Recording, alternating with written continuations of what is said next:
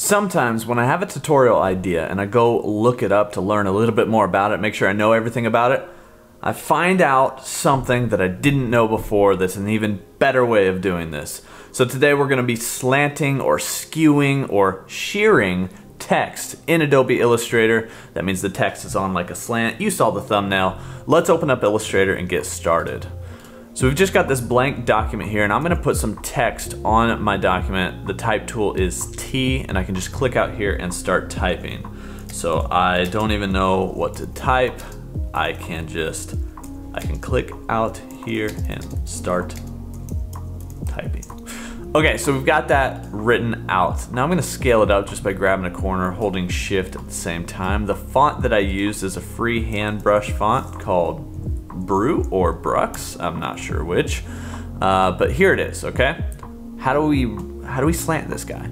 So we're gonna go up to Object, down to Transform and Shear. I didn't know about this before, but I do now. You can see already that it previewed uh, what was happening there, so I've got preview check mark down here. Once you check that and you start adjusting the shear angle, you can adjust the angle at which your text is slanted. And now the text, the vertical axis of the text stays in line. So this isn't a rotation, this is, this is a shear, right?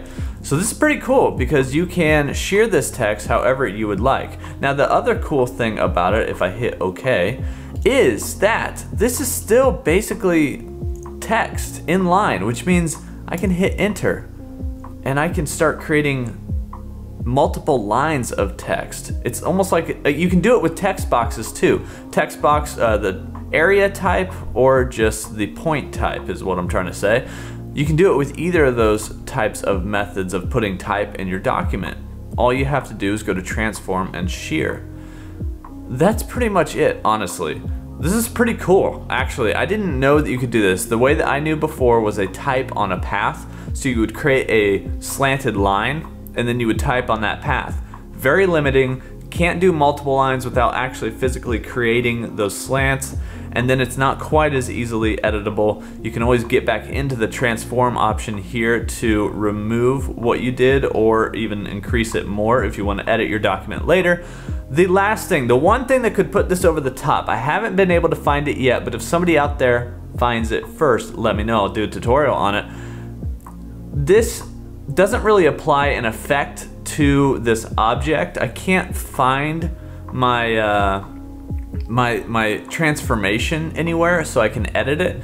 So if there's a way to apply this to, in the appearance panel somehow um, so that I could get back to it, turn it on and off and re-edit it, that would that would be pretty awesome the way you have to do it now is kind of, I'll, I'll, hop in here and show you, it's kind of like a backwards way. So we take this object again, go to transform down to shear, it's gonna re-shear that the same amount of degrees. Well, what we would have to do is sort of remove that by, and you can't even go past 360. So we had to go over to 180 and then start uh, just bumping this up until we pretty much remove any angle that we had put into it. And see, I don't even know exactly where that started. I guess 186 will uh, remove the angle, but that's kind of how you would remove it in a sense. I, I don't really like that way, so if there is any sort of editable way, that'd be freaking awesome. If you guys know it, let me know in the comments down below, and, uh, and I'll get a tutorial made.